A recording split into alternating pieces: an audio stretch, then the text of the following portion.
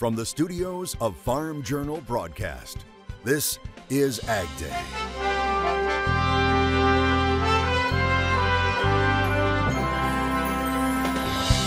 Cleaning up after the storm. You know, this stuff not picked up in the next three to four weeks, it's going to disappear in the vegetation. The race is on to rebuild following those December tornadoes. Technology of the future. By enabling them to apply the non-residual herbicide only where it's needed. John Deere rolls out new innovations. While commodities surge to their biggest weekly gains since the mid-1970s, and drought nips at production. By far, the wheat belt is the biggest concern. Concern for the spring forecast today on Ag Day. Good morning. I'm Clinton Griffiths. Drought now consumes nearly 60% of the lower 48, the most since 2012. And concerns are growing that a short winter wheat crop will only add to the scarcity of wheat on a global scale.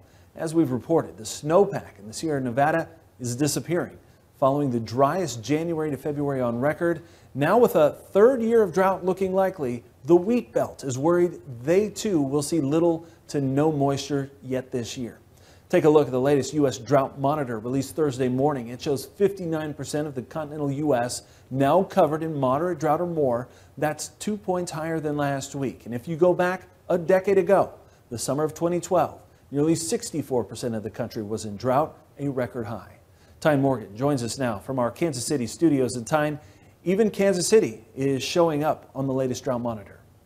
Yeah, that's right, Clinton. I mean, as you can see today, the areas surrounding Kansas City are abnormally dry, but not D1 yet. But in talking with local farmers here, there are areas that typically hold water now standing dry. And I've talked to farmers really from Texas up to South Dakota that say drought is more of a concern this year than it was a year ago.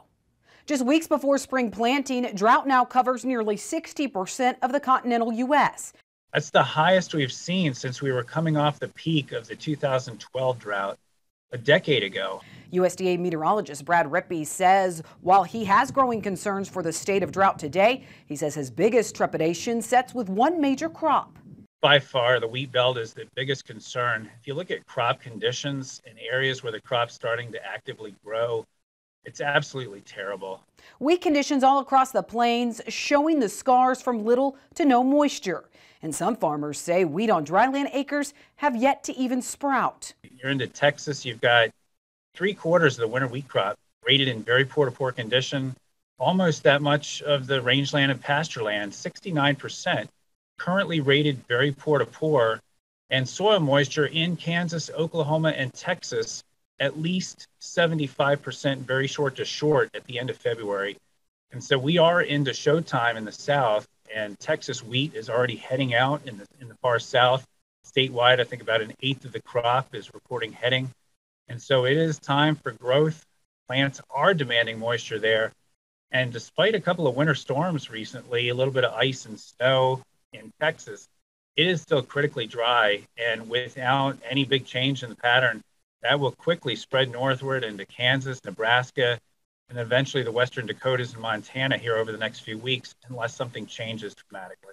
Well, Clinton, this is the latest spring drought outlook. And as you can see, it really doesn't paint much hope for those areas that Rippey just referenced either. It shows drought persisting or even intensifying through the end of May. As Rippey says, La Nina is lending no favors to areas seeing the stubbornness of drought. All right, thanks, Tyne. Now let's bring in meteorologist Matt Yurosavik. Matt, a lot of questions about where precipitation may fall yet this spring.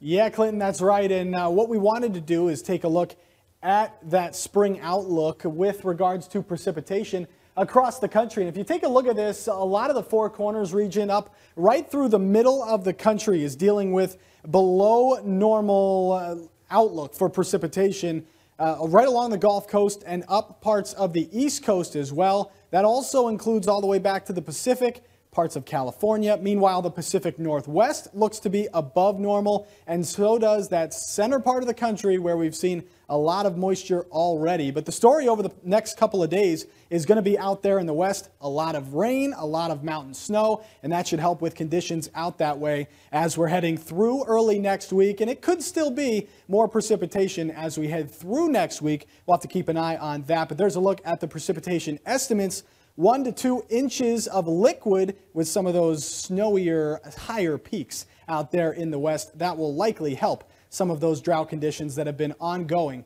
for so long. And drip irrigation is the solution here. Take a look at this video from Don Hartman of New Mexico. He's using a Norseman planter to direct seed chili peppers under a biodegradable film. He says the setup should let him gain 20 to 30 days on planting, which hopefully will push harvest into mid-July instead of mid-August. That's some cool stuff. Thanks for sharing, Don. I'll have more on your forecast coming up. Commodities are now seeing their biggest weekly gains since the mid 1970s, measured across a number of indexes. With basis, corn is now being reported sold for $8 in places. Soybeans topping $17 per bushel on the board for a time before dropping back. Meanwhile, Chicago wheat broke through $12 Thursday. The global wheat market driven by shrinking shipments from the Black Sea region, drought in South America, and as we mentioned, drought concerns here at home. Leaders at the National Association of Wheat Growers following every update closely as the world looks to adjust global flows. But when you have those two countries in a conflict, you are talking about a third of the world's wheat production. And as the winter wheat, which is what Ukraine predominantly uh, pr- pr- produces, is starting to come back to life and start to grow and head into that tillering stage, you know, here in the next six weeks, if your roads are bombed out, your bridges are bombed out, uh, you can't get into your field because maybe your field has had destruction. But this is the ample, t- the prompt time to be putting on your crop protection tools, your fertilizer, and all those other risk management tools you need to increase your yield production. And if that doesn't happen, not only with what Russia is doing, but the decreased production in Ukraine will be feel, felt globally as well as here in the United States, which we've already seen in the volatile prices in the last two weeks. Meanwhile, Pro Farmers reporting that top Chinese government officials are ordering state owned buyers to find and secure a host of key commodities, including barley, corn, and iron. Officials are worried about the impact of higher commodity costs on the Chinese economy. As U.S. commodity markets surge, an economist at the University of Illinois is warning about a global grain supply shortage and its potential dire effects. He's urging the Biden administration to open up the Conservation Reserve Program and its 22 million acres this cropping season to help stem the crisis. Well, I think we need to be now, under these extraordinary wartime circumstances, be thinking outside the box. And uh, one outside of the box suggestion I made yesterday in on Twitter was maybe consider opening up the Conservation Reserve Program acreage for one year cropping. Um, it may not be practical, may not be legal, uh, but my point was is to really try to get people thinking. And Other farmers with acreage in CRP say even if they'd like to plant a crop, it's been too dry. Meanwhile, wheat markets continue to turn heads. We'll look at the entire wheat complex and what it means for spring next. And later, the destruction of a Kentucky research center is now sprouting with hope. An update in the country. And this month, get off the bench and in the game. On March 13th, brackets will open in the 2022 Bracket Busters Challenge presented by Case IH. Farmers will be able to take on farmers for a chance at a $1,000 top prize. Make sure to check it out. Go to agweb.com forward slash bracket busters for details and terms and conditions. Ag Day is brought to you by Germinator Closing Wheels. Germinator, it's not just any closing wheel. Reach your yield potential. Pre order by March 31st with coupon code AGDAY for $2 shipping per wheel.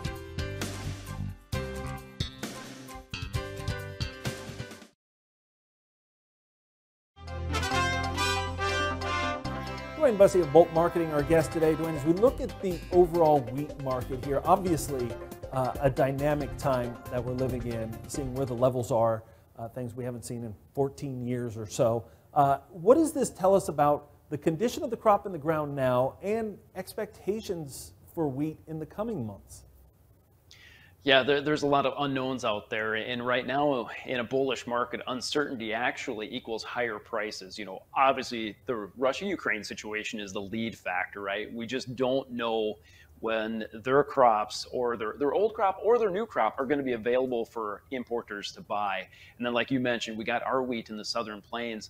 This week, we've gotten very warm, too warm, if you ask me. We really don't want that wheat to break dormancy this early on because, of course, eh, there's still some winter out there. We could go back down and freeze again. So there's a new threat of maybe frost uh, on that uh, winter wheat in the southern plains, not to mention how dry it's been down there already.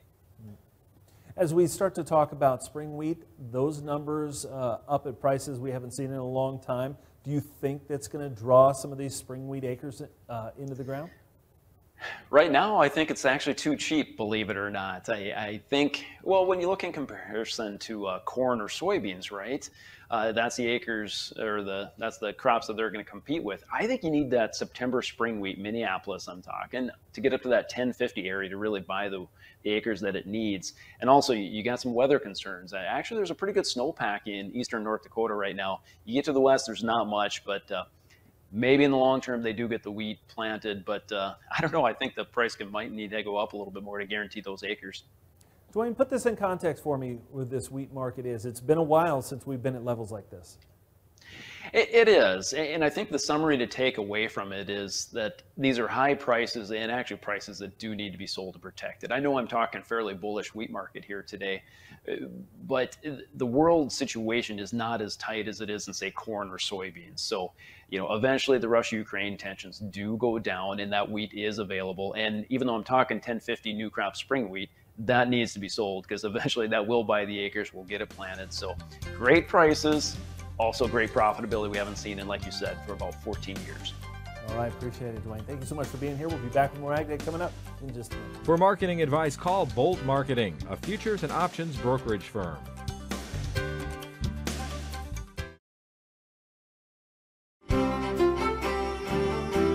Ag Day weather is brought to you by Zoetis. Even though calves don't wait for perfect weather to arrive, you can count on Zoetis to be there. Share a picture of your newest calf, and you could win a calving season survival kit. Enter now at calvingseason.com. Meteorologist Matt Yurosavik joining us now. Matt, we started talking about the drought monitor at the top of the show, and it really just continues to be pervasive, especially across the West. Yeah, that's right, Clinton. We haven't seen much improvement, although the extreme and exceptional drought conditions have been improved upon out in the West.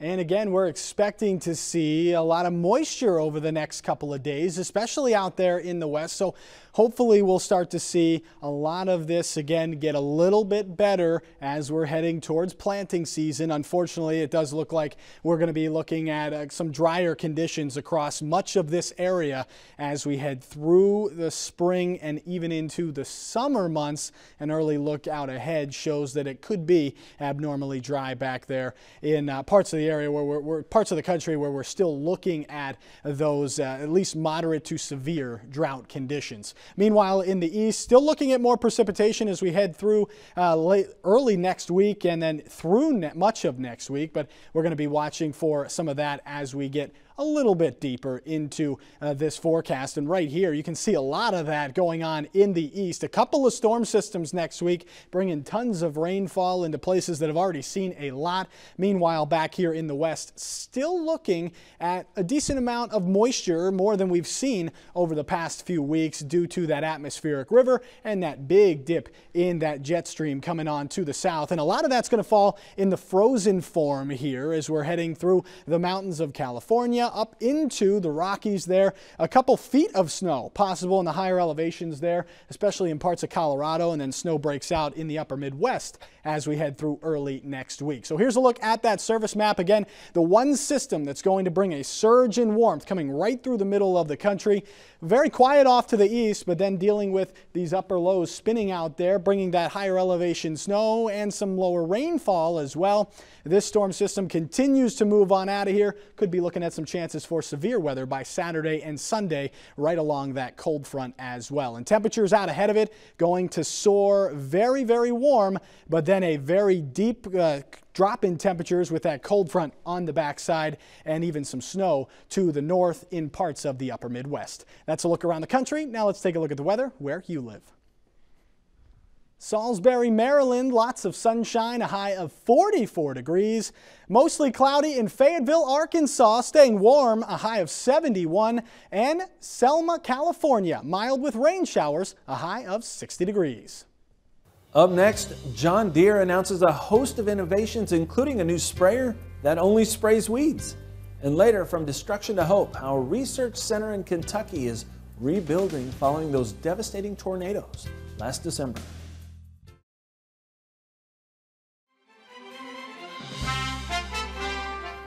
The country's largest equipment maker, John Deere, rolling out a host of new products, including its See and Spray technology, which it says can reduce non-residual herbicide use by more than two-thirds. The system, ready for use in corn, soybeans, and cotton, the sprayer technology is smart enough to tell the difference between weeds and crops and then only spray the weeds. It also allows for two different products to be used at once helping in the battle against resistance. We're all fighting to control with resistance and with pressure, and this is going to is going to be a powerful tool to enable growers to do that by enabling them to apply the non-residual herbicide only where it's needed, and also do that in combination with the residual herbicide application in just one single pass. We're starting with herbicides, and herbicides are a large expense for our growers. And how can we help farmers manage their cost, manage their productivity, and improve actually the sustainability of their operation with the technology like computer vision and machine learning. Deere says the sprayer is capable of operating at up to 12 miles per hour. Limited quantities will be available for ordering later this year. Deere also announcing updates for its planters in model year 2023, adding new frame designs, hydraulic downforce, pneumatic closing wheels, among many other changes. And it also released news about a new electric variable transmission and a new engine for select Series 8 and Series 9 tractors. You can read more about all of the innovations over at agweb.com. An outbreak of tornadoes last December left miles of destruction behind. Today, hope as a community works to rebuild a Kentucky Research Center.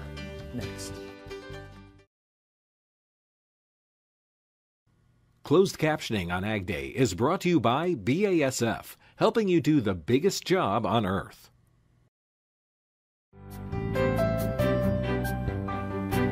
On December 10th, an EF4 tornado struck the town of Princeton in western Kentucky, leaving behind piles of destruction. That includes the Research and Education Center for the University of Kentucky. And as Jeff Franklin reports, work is already underway to rebuild and reclaim the facility and the grounds around it so its outreach can continue. A call went out for extension agents, volunteers, and anyone involved in agriculture to lend a hand in cleanup efforts at UK's Research and Education Center. Debris scattered all over these fields where specialists conduct research on small grains and other crops could be compromised. That's why Daviess County Extension Agent Clint Hardy other agents and volunteers fanned out over the fields. It's a lot of cleanup, a lot of large items, uh, but then there's also a lot of just small debris scattered throughout the entire property. So uh, knowing that the staff here, uh, the specialists and, and, and the staff was going to be overwhelmed with just trying to get their own things back in order, uh, we quickly volunteered to be of service uh, to come out and help remove some of the debris from these fields. The Research and Education Center sits on more than 1,000 acres. It will take a while for buildings to be rebuilt, but the goal is to restore fields now before the arrival of spring. We're eight weeks away now from spring green up and everything beginning to come back. And, you know, this stuff, if it's not picked up in the next three to four weeks, it's going to disappear in the vegetation. Over nine miles of fencing on the research farm was lost in the tornado, and fortunately, only 10 animals from the beef herd were destroyed as a result of injuries. Beef handling facilities on the farm sustained substantial damage, but plans are to rebuild and restore better than it was before. So while we're we're still assessing uh, the the full extent of the damages here and, and figuring out how exactly we're going to rebuild, um, we're, we're moving forward with optimism, knowing that, that we are going to rebuild and we will be back. The beef unit at Princeton is a 100% fall calving herd, and ear tags on the cows will provide animal behavior data right up to the tornado's point of impact. From the University of Kentucky College of Agriculture, Food and Environment, I'm Jeff Franklin. All right, thanks, Jeff. Great to see the work being done there. And that's going to wrap us up this morning. From all of us here at Ag Day, I'm Clinton Griffiths. Hope you have a great day on Farm Country.